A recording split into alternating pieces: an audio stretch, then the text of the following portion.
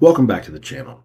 In this episode, this is going to be the follow-up video to the AlphaCool water block installation on the uh, MSI RTX 5070 Ti. Uh, this is going to be is uh, the performance data of uh, what are the benchmarks like after you install it.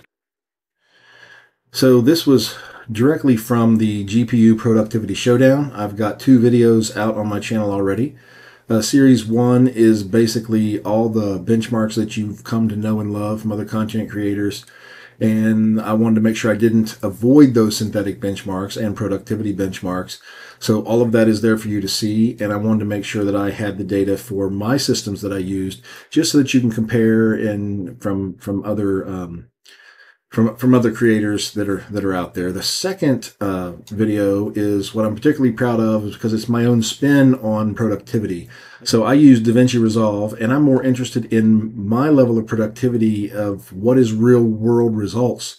Um, what's your render time, and what can you expect between all of those cards?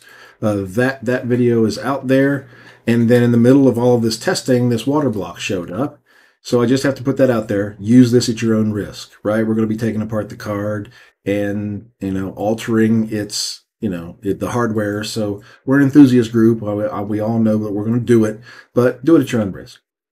So when you take this card apart, and I have to say it's a nice design. It's not difficult to get apart.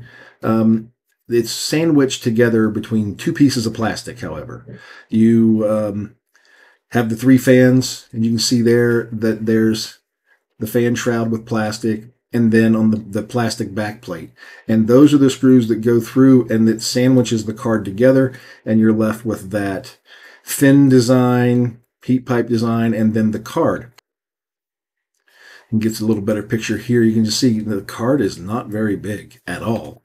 And this is a, a flipped over AlphaCool product. You take the little shipping spacers off and apply your thermal pads, paste your GPU, flip the card over, bolt it down. You can see there are only six screws that hold this thing together. That's it. The four main ones on the GPU and then two additional ones for your uh, I.O. panel. That's it. That's all the bigger it is. And that video is already out there. If you want to just walk through how to step by step do it and, and my process along the way, please feel free to take a look. But now that we know that it's together and it works, hallelujah, didn't break it, uh, how well does it perform? So let's look at some of the data. so I'm using my office rig for this because ultimately all of this testing is to figure out what my best you know my best choice of options are for my own personal rig that we're editing on right now uh, there's the i9 14900KS, it's delidded. It's got the Thermal Grizzly Micro Direct Die Pro V1 on it. Runs nice and cool. Uh, I can say this isn't this is an overkill build. Um, you can see here I had a um, sensor panel installed, but that's it's down on the floor and it doesn't do me any good down there. I can't see it. Right. so I pulled it off and ran some cables up to the desk just so that I can be able to, you know, use this thing and use the panel. But you can see that I there've been a lot of videos that I've used this office rig and I didn't really want to make this a test bench. You know, this is my main personal rig that I'm trying to use for the business and and do all of my processing and everything, but it's because of its unique configuration with a, a larger gig of memory, um, everything's water cooled on this thing, uh, down to the SSDs. Um, everything that I can water cool is water cooled. Uh, it was interesting taking the memory heat spreaders off and putting the other ones on for the water block. But nonetheless, I put this in the repertoire and plumbed it. Now you can see, because I've made so many changes, my uh, runs and my wire management and everything, that I need to revisit this. So I'm hopeful that once everything settles out and I can leave my office rig alone, that maybe I can sort of clean this up a little bit. But nonetheless, uh, this is the system that we're going to be using today to look at the performance of this water block. So the synthetic and productivity benchmarks are here. You can see here on the left, here's the scores for just the OEM cooler, and then the scores again when you put the water block on and the percent change. Now, it is about one and a half percent increase in performance. Now, a lot of you would say that's probably, that's, you know, standard deviation. It's just run variance. Don't worry about that. It's really not any different. Well, that might be true. And I'm willing to appease you on that and say the water block does not reduce performance. Okay, I think we can all confidently say that. But if you look, it's only negative in Orange Room, Blender Classroom, and the OpenCL. And they're negative like by 0.1, 0.4. Like that to me is run variance. That's no difference, right? If you've got 2%, 1.7%, it's hard to overlook that. Um, so, but if you don't want to say there's a huge performance increase, that's okay. This is OEM spec. Didn't there's no overclocking, no nothing. It was just put the card in, run it as it uh, run run it like OEM, and then put this water block on it and run it. So with that, look at your water temps, your air temp and your water temps. A 40 over 40% reduction in temperatures. Now this I really like. You know, it, but you can see the performance of that OEM cooler. It was running in the 60s, and and these these tests don't run a long time.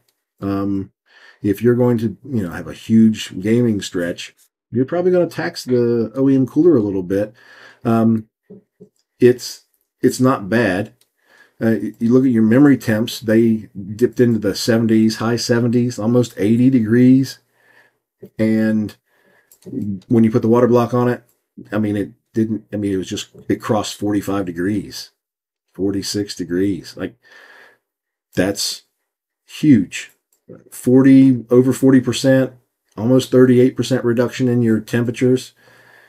That's, I, I couldn't be any happier with that, right?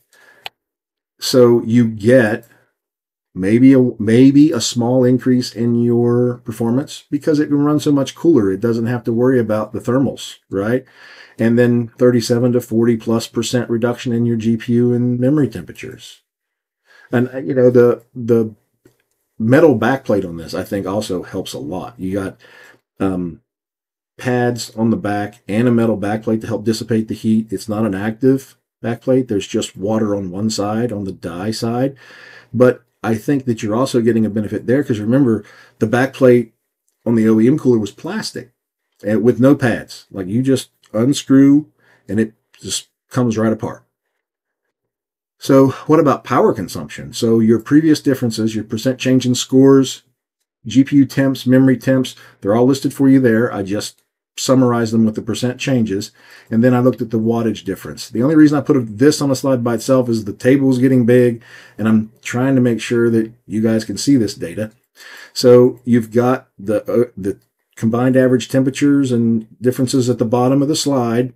And it's kind of a wash. Like it, there's an outlier here in terms of the Geekbench OpenCL. I don't know what happened here. Um, I'm probably going to go back and rerun it. But the problem is, I think the outlier is this, and I don't want to put the air cooler back on it. And I didn't know that that was way off when I first ran it. Now that the water block's on it. so, you know, it's, and it's not, it, I mean, you can say what you, what you will. I, I think it's a, it's about negative, it's about the same amount of wattage that you can run with this card. And I think this gives you headroom if you wanted to overclock. I think that is one of the takeaways here. But how about productivity? That's that's where I am. Does it make me more productive or not? so what about my rendering? So the first run with the OEM cooler and that small quick export file, that was two minutes, 59 seconds. So we're looking at three minutes. And then we put the water block on it, made no change, just plug it back in and rerun the test. And you're approximately 25 seconds quicker. Now that's, that is a big change from the render times. And that the, water block wasn't the only variable here, unfortunately. Um, I got excited when DaVinci Resolve released the full version of Studio of 20 Studio, and I upgraded my main rig. It's like, well, I'll leave the test benches at the 19 and and still with the Puget bench benchmark score. And the test benches will be okay. I'll just leave them as being consistent. But my main rig, I'm updating because I want all those benefits that they're putting into the new software. Great piece of software. But the problem here is with that additional variable, does did they change the support? Is are the encoders more optimized in, in the final release? That that could play a role, or maybe the water block keeps it cool that you that can just actually work that much quicker. But I think we have those two variables at play here, not just one. So in summary, if you've seen my previous uh, videos about installation of the water block with the RTX 3090, with the active backplate, you got for over 40% reduction in cooling there too. but it was really predictable because you got almost the same amount of cooling with not an active backplate, but a passive backplate, the active water block. Slight performance boost, we can say that that's a wash, but I mean, I'm going to say that there's a slight performance boost. Just grant me that. But the biggest change is your temps. It is a huge improvement over the OEM cooler right? Uh, 40% reduction in your temperatures, and you've got more room for overclocking. So, with that, is it worth the money? I I don't know that I'm going to really push this card and overclock it. Um, that's not really where I'm focusing. Uh, I might play around with a little bit and see what happens, but day to day running, I'm just going to leave it where it is. I like the longevity. I like my system to to run at optimal temperatures. I have a 14th gen that runs cool. All that data is out there. I now have a 5070 Ti that runs very well. I'm happy with its performance and it's going to run cool and last a long time, I hope. So with that, there's more information on the way. Hope you've uh, enjoyed this video. Stick with me, more to come. God bless.